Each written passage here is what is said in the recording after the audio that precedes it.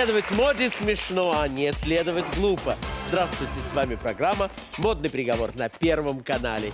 Заседание модного суда я объявляю открытым.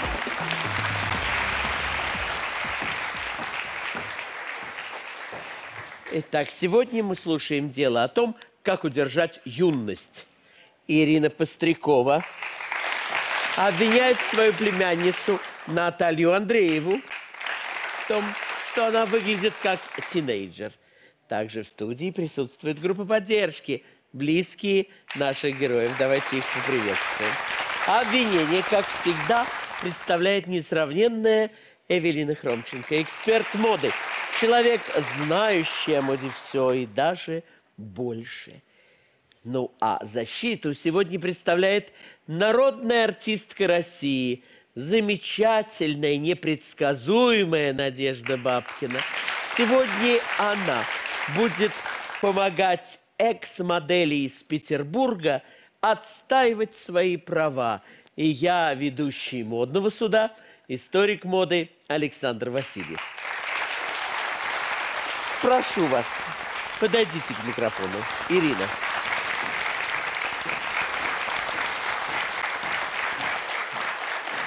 Ирина, с добрым утром. В чем вы обвиняете вашу племянницу Наталью?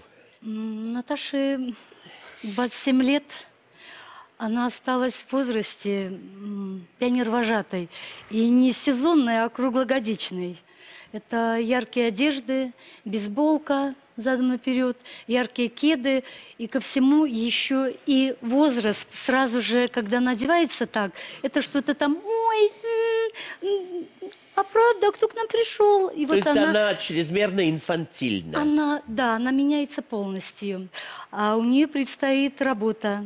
Я не хочу сглазить, но она должна быть хорошим журналистом. И очень прошу вас переодеть ее. Наталья, вы согласны с обвинениями тети?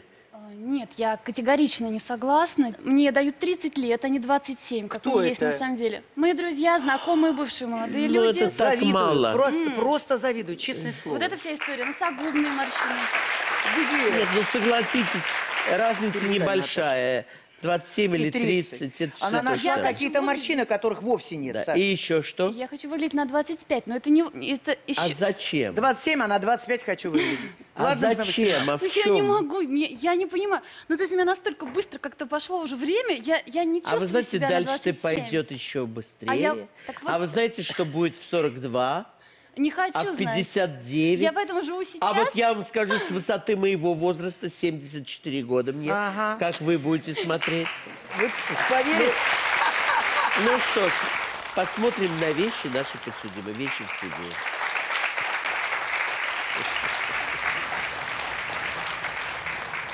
Итак, Эвелина, приступайте, пожалуйста, к разбору этого гардероба.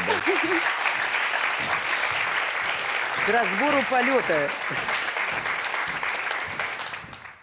Моя подопечная не упомянула о том, что журнал, в который устроилась наша героиня работать, пишет о большом бизнесе. Я даже не знаю, в чем она планирует ходить на работу. Ведь интервьюировать придется совсем взрослых дяденек, которые с некоторым сомнением относятся к розовой жвачке. И подобного рода наряды будут воспринимать как ролевые игры. А девушку в таких нарядах вряд ли будут воспринимать как журналиста. Я думаю, тоже, да. А похоже на горничную.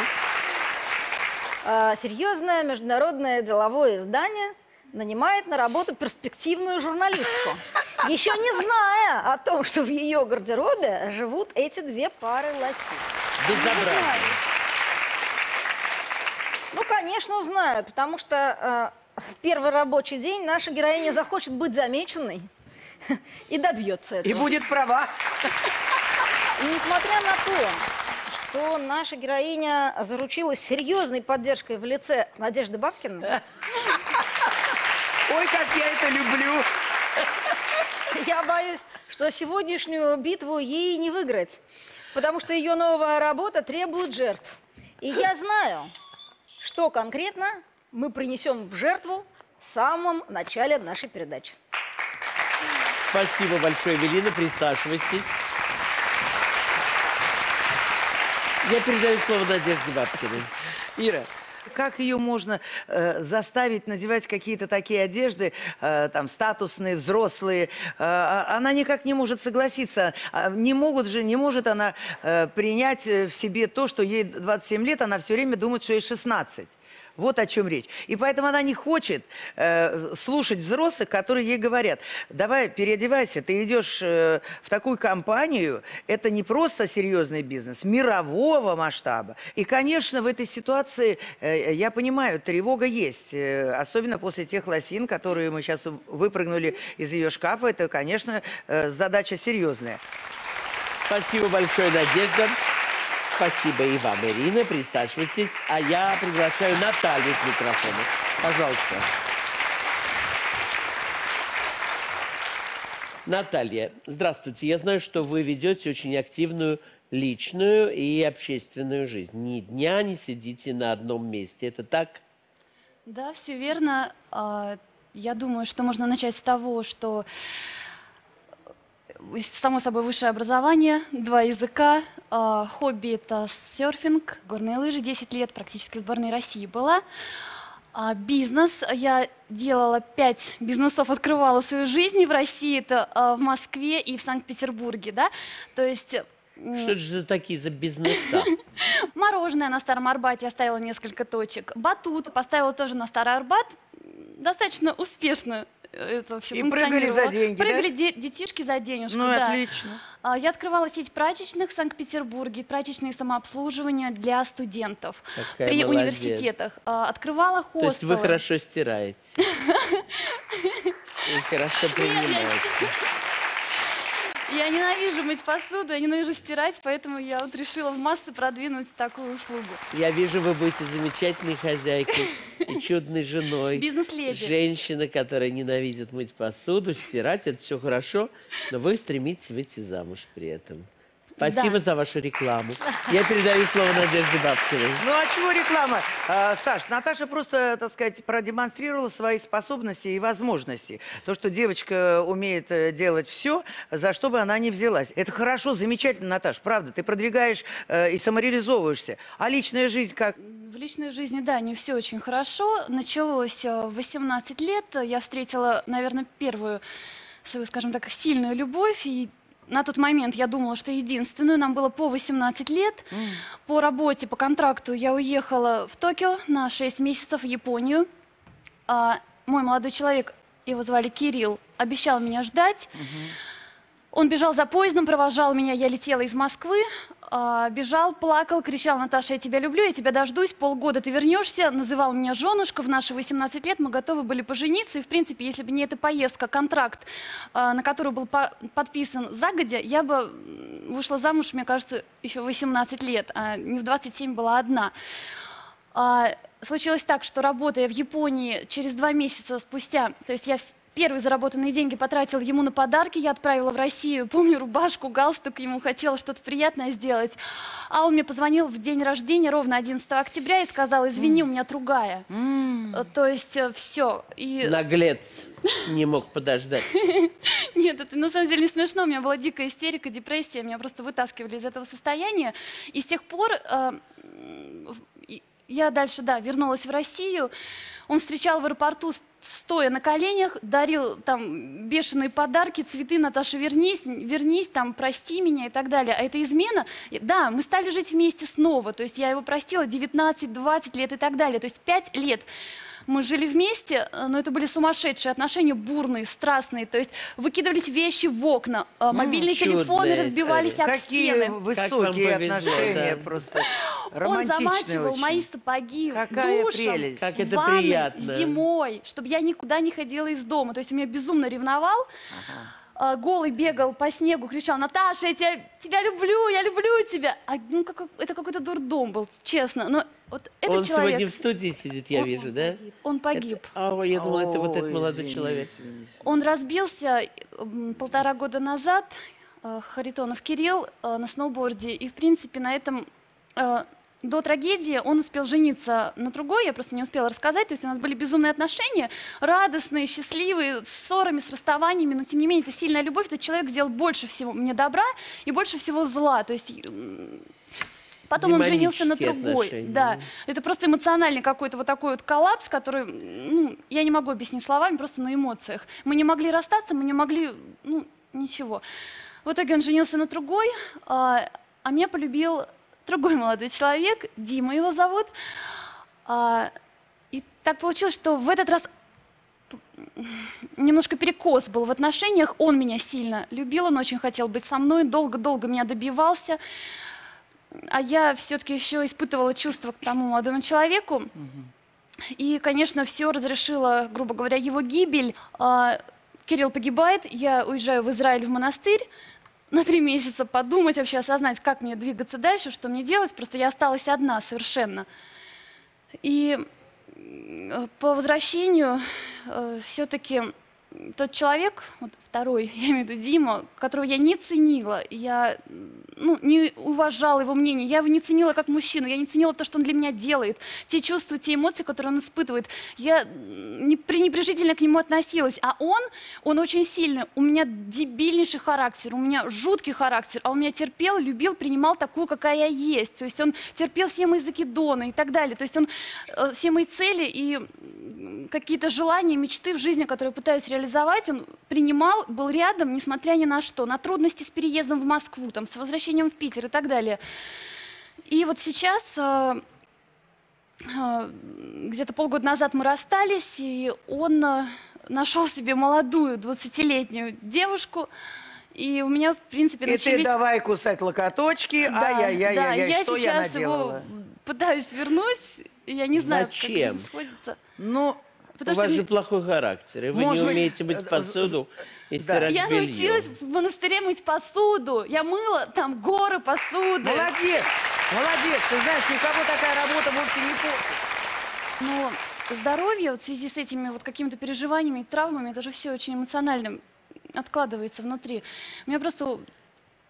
Я не могу сказать, что я не сдержанная, да, эмоциональная, но сил иногда просто не хватает. Я говорю, я устала, я хочу спать, я не справляюсь. У меня просто я, выгорание какое-то происходит, и все. Потом какое-то время я день-два спокойно погуляю. Я очень люблю природу, деревья пообнимать. Наташенька, я тебя слушаю, ты такая э, зажигательная, знаешь, такая э, с таким хорошим запалом жизненным, прям аж, э, знаешь, загоняешься. Так и хочется сказать. Но остановись, девочка, остановись, потому что это, э, это приведет обязательно к чему-то нехорошему. Остановись в том плане, э, смотри, ты э, э, вспоминаешь э, прошлую свою жизнь, цепляешься за нее, когда уже поздняк метаться, да?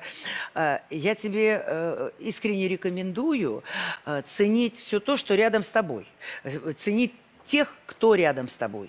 Ценить эти э, общения, жизнь здесь и сейчас. И не цепляться, и не тащить в сегодняшний день свое прошлое, какое бы оно ни было, восхитительным или печальным, или горестным.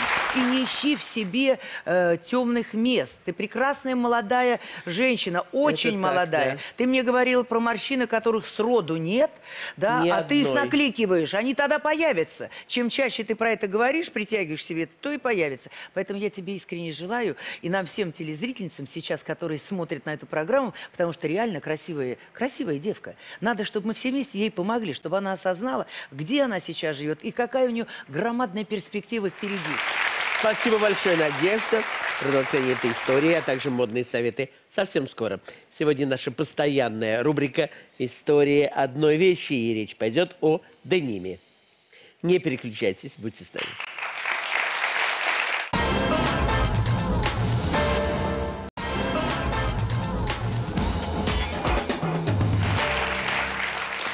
Вами программа «Модный приговор» на Первом канале. Мы слушаем дело о том, как удержать юность.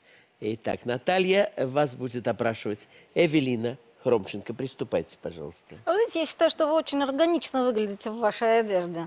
Этот вот комплект 50 оттенков желтого, на мой взгляд, полностью отвечает всему тому, что вы демонстрируете внешне, всему тому внутреннему.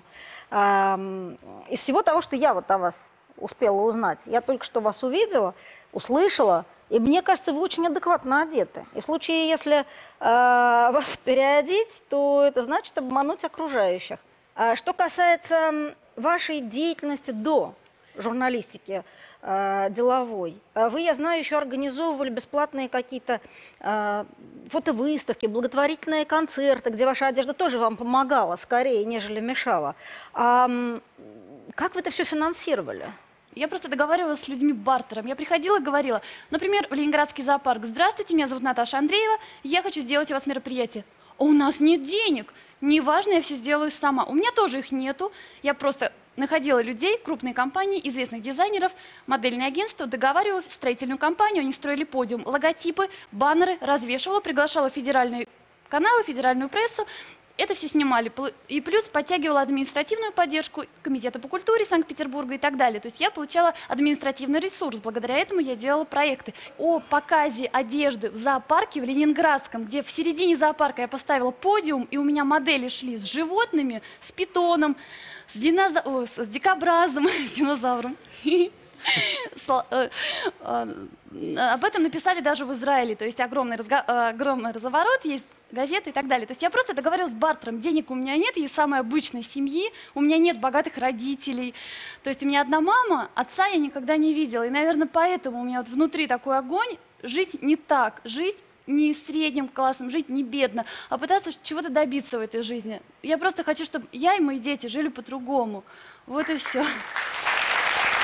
Наталья, а вот пока вы еще не начали свою трудовую деятельность, когда вы были маленькой, э, кто вас одевал, кто следил за внешним видом, как вы одевались, откуда э, корни этой любви к ярким краскам?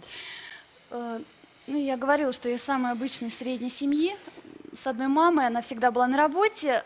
Вещи, это были 92-е, 93-е года, покупали в секонди-хенде, тогда еще не было больших э, мегамолов и так далее, то есть на каких-то рыночках, и я делала вещи сама. То есть в пятом классе я училась в немецкой гимназии, вызвали маму на ковер к директору с вопросом, в чем ваша дочка? Э, А мне были, на платформе были, значит, э, модные такие кроссовки, мне их мама купила, а все остальное сделала сама.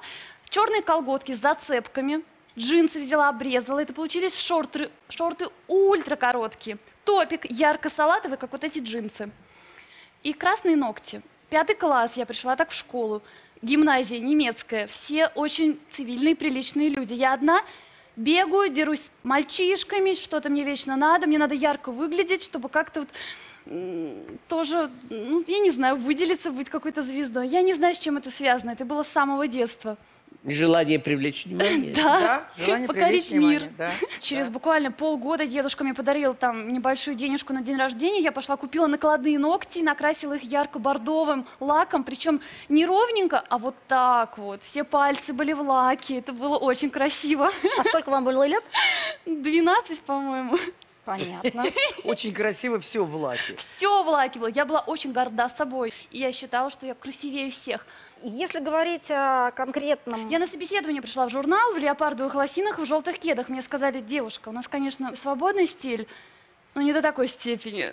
Э, Молодую красивую девушку берут на работу э, в деловое, серьезное издание, связанное с э, выуживанием информации из самых топовых бизнесменов нашей страны, потому что молодая леди с интеллигентной внешностью, с хорошо подвешенным языком располагает к доверию, но только в случае, если она не в платьице третьеклашки на каникулах, только в случае, если она не в ярко-желтой кофте аниматора, только в случае, если она не демонстрирует фигфок на один бок в э, ярко-розовой шапке и лимонной куртке, а все-таки каким-то образом соответствует той действительности, в которой все эти бизнесмены, герои журнала, живут.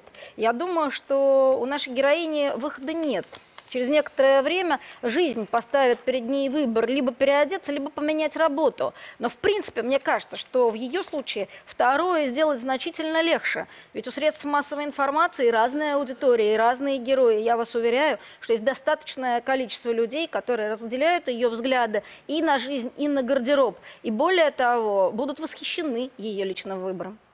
Спасибо большое, Эвелина. В нашей программе настало время модных советов.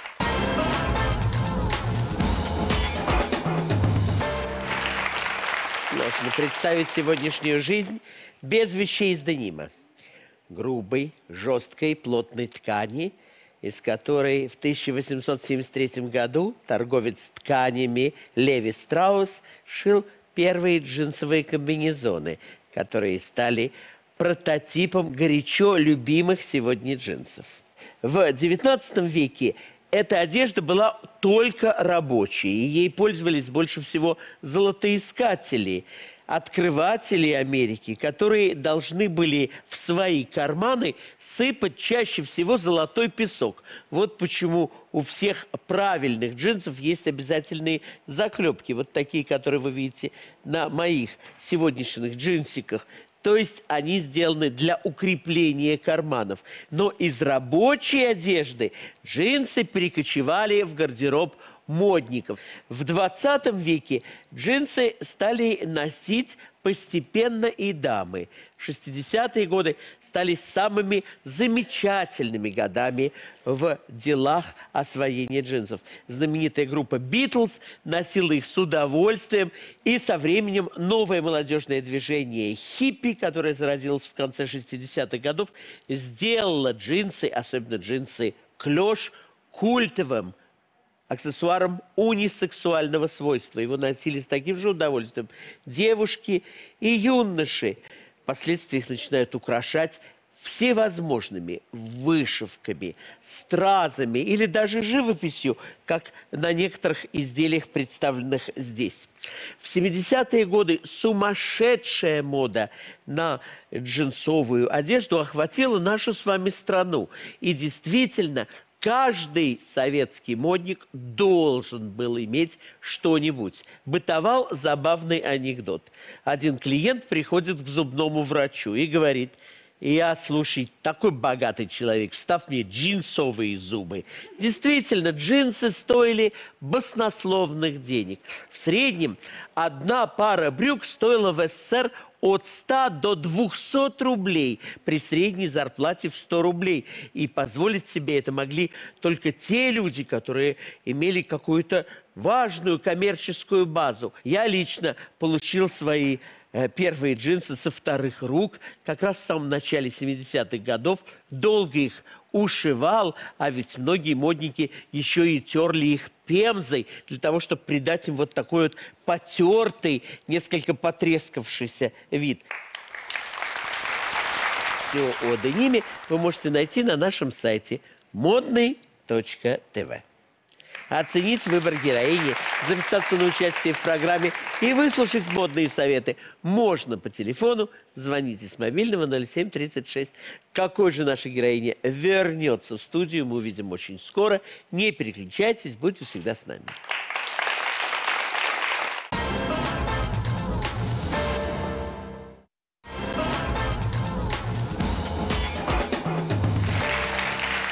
Вами программа «Модный приговор» на Первом канале. Мы слушаем дело о том, как удержать юность.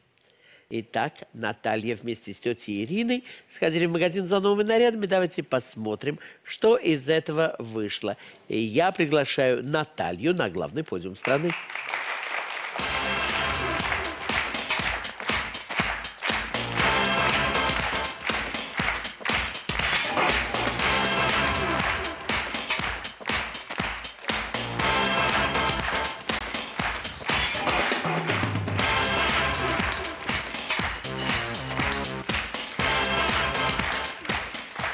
Наташа, довольны ли вы выбором тети? На троечку. Почему? Ну, потому что оно, конечно, такое все женственное, но оно супер классическое. Я бы в жизни не одела такой наряд. Вы все время косолапите ноги. Посмотрите, как вы стоите. У меня словно нога. Э, э, Это не надо никому рассказывать.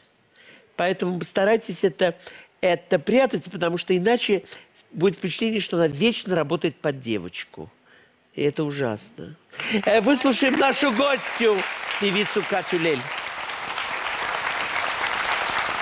Мне кажется, Наталья молодая девушка, интересная, Очень. с хорошей фигурой. Да.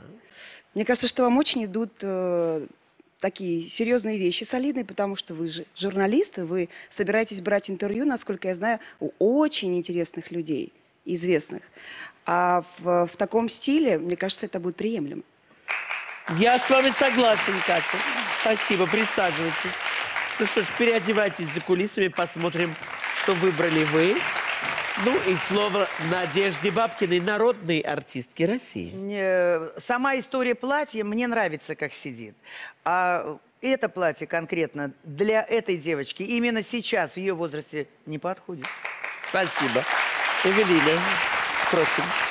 Честно говоря, форма-то у платья девичья как раз. Я бы даже сказала, э, платье школьницы э, в свободное от школы время. Платье для продленки, я бы его так назвала. Но э, мне еще кажется, что тетя, любя свою племянницу, решила потрафить этим всем ее прибамбасом, которые необходимо как-то корректировать. То есть она в своем возрасте, он прекрасный, свежий, юный, косит под девочку, как говорят в народе. Это довольно противно выглядит. Эти губки, которые она пучит все время, глазки, которые она вылупливает, ножки, которые никак не могут стоять на месте. Так их прям вот тянется пальчик губки. Вот прям вот э, еще секунда, и не отпустил бы Васильев девушку переодеваться, как было бы вот это. Спасибо большое. Ну а сейчас второй выход Натальи. Посмотрим.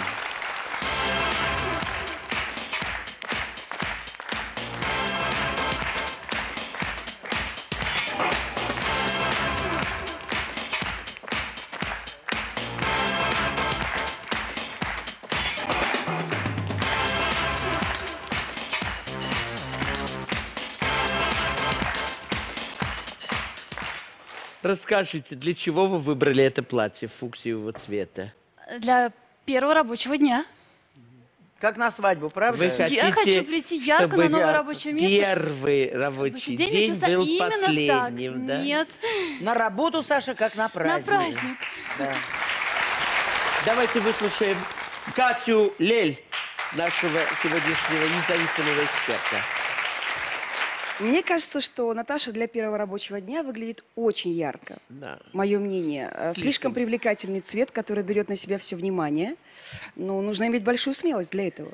Я считаю, что надо поражать, но это надо делать постепенно и поэтапно, для того, чтобы люди отметили и оценили. Но прийти на работу первый раз Да-да-да. в длинном С порогу. фуксиевом... С порога платье, вот сам Как туда. вы говорите, Я с говорю, порога в с порога и в морду. морду, понимаете? Это не всем понравится, Наташ. Ты не обижайся, потому что Саша сказала, это будет твой первый и последний день. А ты говоришь, ну, спасибо. А вот здесь тебе все подскажут, что это правда. Зачем тебе такие риски брать на себя? Ты же не хочешь, чтобы тебя вытерли оттуда? Или ты работаешь из- э, в серьезной компании и прогрессируешь, ну, как правильно Саша сказал, постепенно. Помогите При- тогда. Вот об этом и речь, дорогая Наташа, моя. я вам скажу по секрету. С тех пор, как я посетила эту прекрасную программу «Модный приговор» и была участницей на вашем месте, я стала а, действительно очень аккуратно одеваться по цветам. Это правда, Катя. Это правда. Ты молодец. Я вас поздравляю, Катя. Спасибо. Присаживайтесь. Ну что ж, дорогая, переодевайтесь за кулисами. Эвелина, прошу вас. Такое впечатление может возникнуть в случае, если человек первый день на работе э, в журнале о деловых мужчинах преимущественно появляется в платье цвета фуксии, в пол, в туфлях на каблуках, да еще и с пальчиком во рту.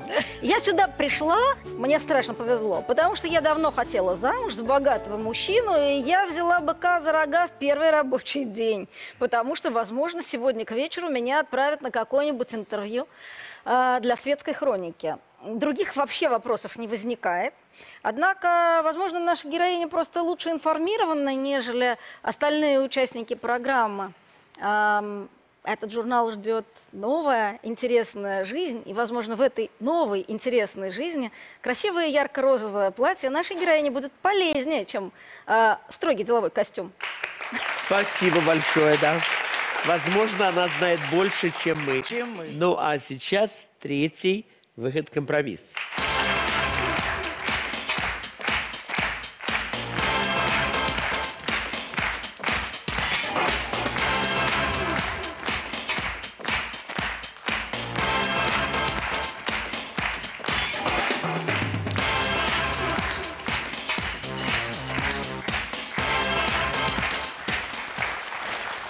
Скажите, пожалуйста, Душка, вы выбирали или тетя?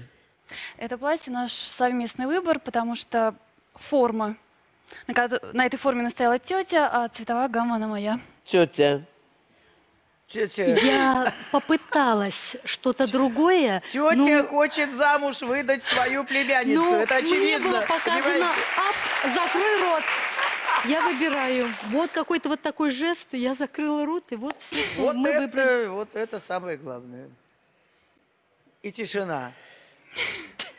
Давайте спросим Катю Лель. давайте выслушаем нашего независимого эксперта, певицу Катю Лель. Спасибо.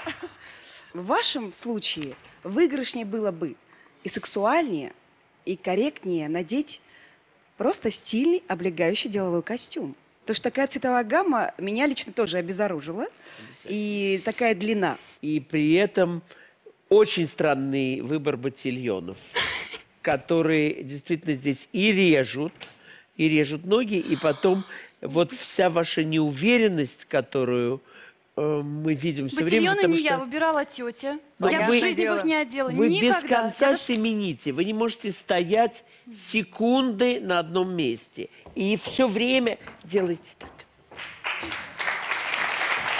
Это, знаете, вот такой какой-то э, фокстрот, который мне напоминает по танца Риорита. Я переживаю и боюсь. Волнуешься. Волнуюсь. Правильно. Там Вот. очень страшно просто стоять. Это Да. правда. Да, это да, правда. знаете, правильно, правильно, Наташа. Но все это отразится на вашей карьере.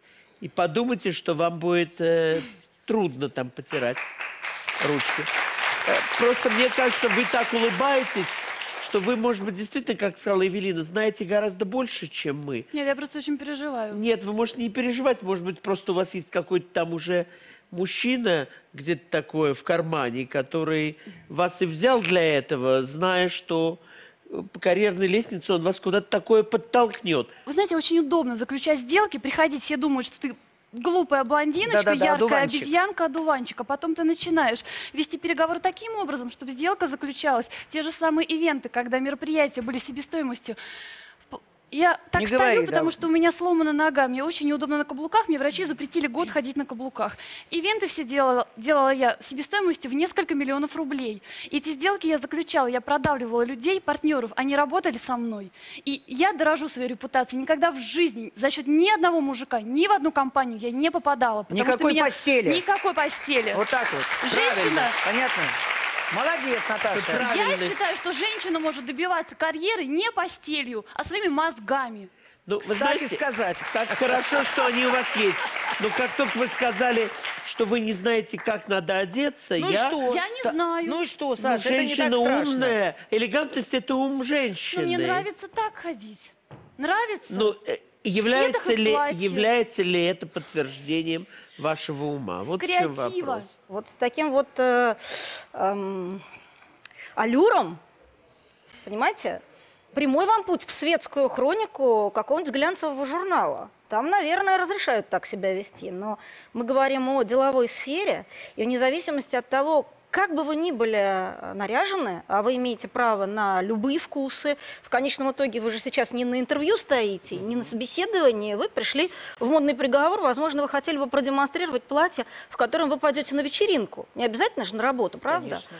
Но в каком бы платье вы ни были, что бы вы ни делали, ваша основная функция – это ваш логотип. И вот эти вот все вот странные такие порхания бабочки, э, маленькой девочки, э, вот это вот все виртуальное кручение пальчиком в столе, оно все неуместно просто на э, той зоне, которую вы собираетесь окучивать, на той ступени, на которую вы собираетесь встать. Я не знаю, что было раньше, но вы четко описали, что должно быть вот в ближайшее время. И в случае, если это действительно так, то извольте, соответствуйте. Спасибо большое. Эвелина, настало время отправить нашу героиню прямиком в волшебную комнату к стилистам. Вступайте, меняйтесь, радуйте нас. Какой предстанет наша подсудимая после работы стилистов, увидим прямо здесь, на этом подиуме, через несколько минут. Диета Елены Малышевой – это набор готовой еды для тех, кто хочет похудеть.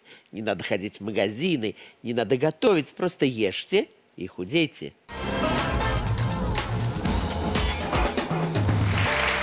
Вами программа «Модный приговор» на Первом канале. Мы слушаем дело о том, как удержать юность.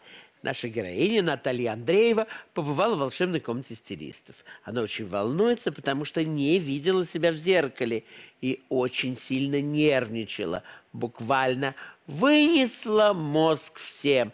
Редакторам, стилистам, парикмахерам, ну, всем, кто работает за кадром.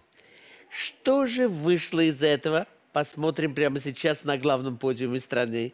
Итак, Наталья Андреева, просим!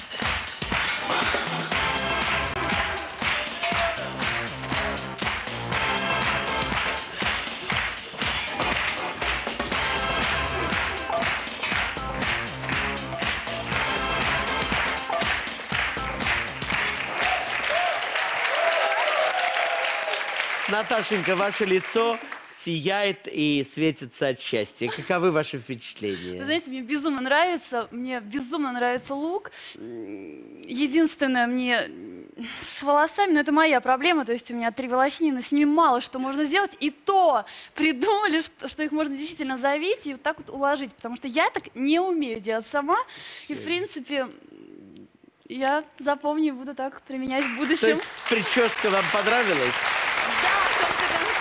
То есть вы категорически отказывались стричься, Я укладываться? отказывалась, я ругалась, я говорю, я не хочу, не трогайте мои волосы. Пойду Но- грязная, Пойду, немытая, да. Да, какая угодно. Но мастера справились, стилисты Да, справились. справились. Спасибо.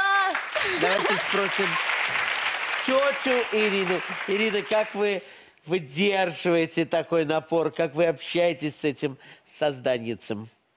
Когда хочу общаться, и если что-то лишнее, у нее есть вот такое «ап», закрыла рот, и все, я молчу. А так я ее обожаю. Это какой-то, не знаю, взрыв всегда в квартиру влетает. Я То представляю. со слезами, то с диким смехом, то сейчас что-то тебе расскажу, ты упадешь. Садись, садись, ты сейчас упадешь. И вот такая сумасшедшая. Ну, сегодня, смотрю, радуется. Я думала, сейчас здесь вот слезы будут. Такие. Пальто думала, в сторону будет кидать. Нет. Девочка, которая ходила в велосипедках, ездила на велосипеде, теперь где-то стоять, стоит, видимо, автомобиль премиум-класса. Я надеюсь, Да, тоже да, да, премиум именно. класса. Детка, переодевайтесь за кулисами. Надежда, вам слово. Я, э, честно говоря, у меня даже, э, я не нахожу э, вот этих вот выразительных эпитетов, чтобы сказать, вот люди стоят в очереди. Она пришла в студию, понимаете, пришла за помощью. Помогите к лучшим стилистам страны, понимаете? А потом этим же стилистам указывает, э, какую ей надо прическу сделать, как э, резать или не резать, понимаете, какую ей обувь купить, э, платье выбрать. Она просто пальчиком тычет и, и, не- и, так сказать, выражает свое негативное, агрессивное, я бы сказала, понимаете? Такой ва- вампирюга конкретная напилась, наагрессировалась, а потом сказала, ой, да боже, какая я красавица, ну я так не смогла, да я бы все сделала. Врет она. Вообще она нас тоже всех за нос здесь водила. Стилисты правильный ей образ э, предложили для того, чтобы продвигаться по жизни, для того, чтобы она не осталась одна. Там с работой понятно, она сейчас в престижное место приглашена. Чтобы она там хотя бы удержалась. Вот какая задача. Так что турнуть могут. Два таких финта и до свидания. Спасибо большое, Галина, вам слово. Характер, который сейчас описывается, да, я не видела того, что происходит за кулисами, но э, доверяю услышанному. Это персонаж, у которого огромное матримониальное будущее, причем в очень высоких кругах. Им там наверху, на финансовом, очень как-то спокойно, им хочется огонька. Поэтому давайте рассматривать это явление как явление. Мы же не жалуемся на дождь из-за того, что он мокрый, или на солнце из-за того, что оно может обжечь нос. Просто нужно понимать, с кем ты имеешь дело. И наши стилисты, они не поняли, они почувствовали, они э, увидели и смягчили для того, чтобы упаковка была подарочной. Спасибо большое, Эвелина. Ну, а сейчас второй выход героини.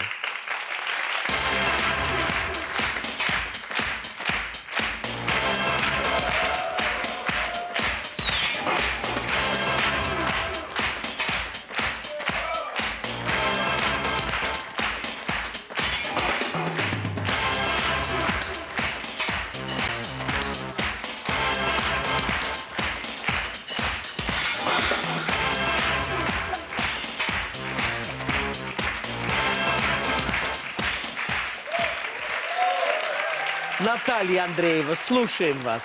Честно говоря, то, что я услышала за кулисами про себя, что я там вынесла мозг э, всем вашим мастерам и так далее, что какая-то там неуравновешенная, это не очень приятно. У меня есть своя точка зрения по поводу моих волос, по поводу моего стиля. Я приехала к вам на передачу, чтобы вы мне помогли стать лучше и красивее. А что ты лезла Красивее, тогда? красивее. Красивее, Красивее, да. красивее. А что ты лезла тогда к ним, когда они начали мастерить? Зачем указывать? Это а, их дело, и они помогли тебе. А ты с ними спорила. Мы все участвовали в том, чтобы тебе помочь. А ты в этой ситуации э, ищешь какие-то острые углы. Их нет. Ты красавица. Все, точка. Наталья, вы готовы расплакаться. Это удивительно. Из вас сделали красавицу, пригодную к новому месту работы. В таком костюме вы можете прийти в первый день и получить там всегда хороший контракт. Вы выглядите делово, стильно, профессионально, Да. сдержанно и при этом очень женственно и привлекательно. Да, и красиво очень. В женском коллективе вас оценят, но не будут показывать на вас пальцем, а скажут, что вы при этом выглядите очень статусно, и стилисты не сделали вам короткой стрижки. А ведь в моих планах было сделать вам совершенно другой цвет волос и превратить вас в ежика-панка. Но стилисты не послушались моего совета. Мы вас любим, мы вам желаем удачи и хотим увидеть красивый третий вариант. Пожалуйста. Кузьма, друг детства. Пожалуйста, что скажете? Наташа у нас девушка с железным стержнем внутри, а не пластилин, из которого можно очень легко что-то слепить, поэтому она против каких-либо изменений в себе. Но, мне кажется, конечно, подошел такой момент в жизни, когда нужно уже что-то в себе поменять довольно-таки серьезно и изменить манеру одеваться. И, по-моему, у вас получилось это великолепно, оставив ее яркость, ее красоту. И все это только обогатив сильнее и сделав это чуть-чуть не так молодежно, как было раньше. Спасибо, Кузьма. Спасибо. Подруга Лана.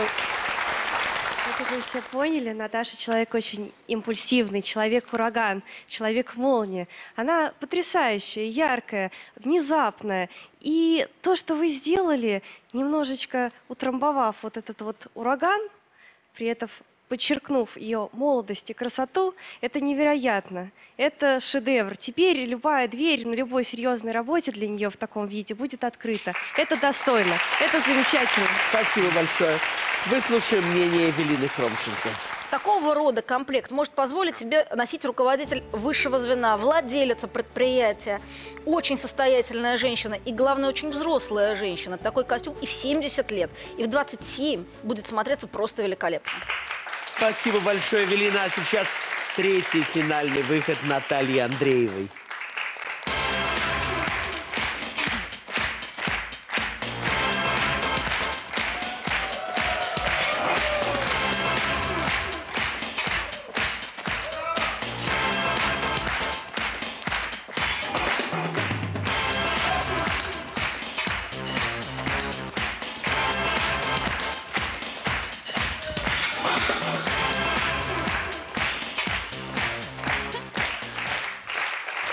Наташенька, что скажете? Да здесь мне нравится. Нравится. Перья, да, как я люблю фиолетовое все. Ну и вообще, сочетание бизнес-стиля и ярких красок, э, макияж, серьги, клатч, мне все очень нравится. Спасибо большое. Ну, а сейчас мнение истца, тети Ирины. Наташ, ты мне очень нравишься сегодня. Ты хотела, чтобы тебя одели кутюрье, твои небожители, кем ты бредила. Меня ты не слушала. Я для тебя уже не авторитетна. В детстве еще как-то. Но вот сегодня ты другая. И будь добра, ни шагу назад, только вперед теперь. Спасибо. Мнение друга Кузьмы. Яркая девушка, яркий букет. О, Наташа, ты просто великолепная. Тут даже нечего добавить. Спасибо. Ну, а сейчас модный приговор от Надежды Бабкиной. Я тебе желаю только одного. Во-первых, полюбить себя, испытывать счастье, радость, и любовь будет совершенно где-то рядом, и она обязательно тебя накроет. Я тетенька взрослая, я знаю, про что я говорю. Честное слово, э, у тебя должно быть в жизни больше позитива, чем всякой разной агрессивной, отрицательной энергии. Я тебе искренне желаю быть счастливой. Спасибо большое, Надежда. Модный приговор от эксперта моды Евелины Хромченко. Первый э, ваш выход замечателен для э, свиданий и разных женских штучек. Второй ваш выход прекрасен для работы. И третий выход э, отличный для светской жизни. Э, При этом из вас сделали не банальную блондинку, которая бегает по Москве в попытках найти своего олигарха. Э, В вашем же случае, в новом, вот в этом, э, который выдали вам стилисты, есть все для того, чтобы на этом фоне губастом, грудастом, с ногтями, э, с этими плексиглазовыми каблуками, с приставными волосами, э, быть иной.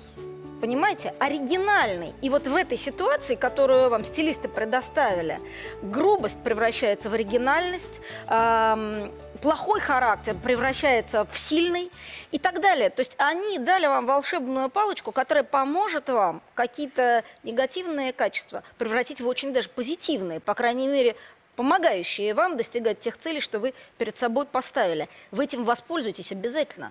Не разрешайте волне негативизма захлестнуть то, что у вас сейчас намечается. Вы на этом острове можете, знаете, какой замок отгрохать? Рублевка будет плакать большими крокодиловыми бриллиантовыми слезами.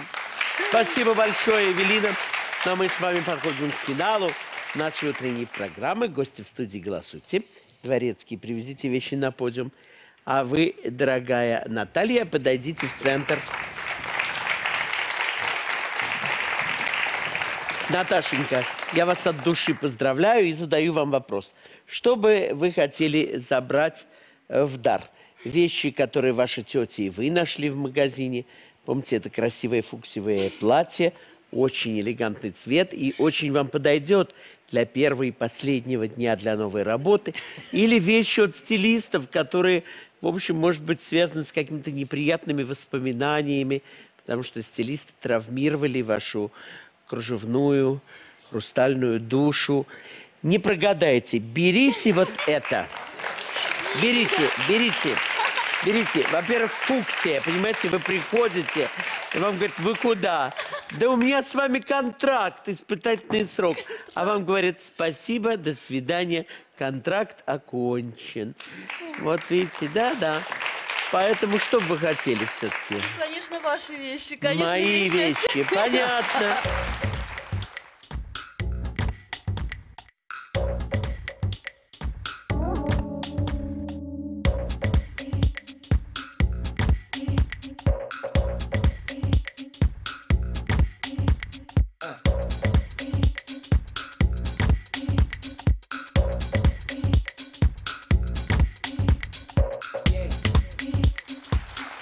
внимание на экран.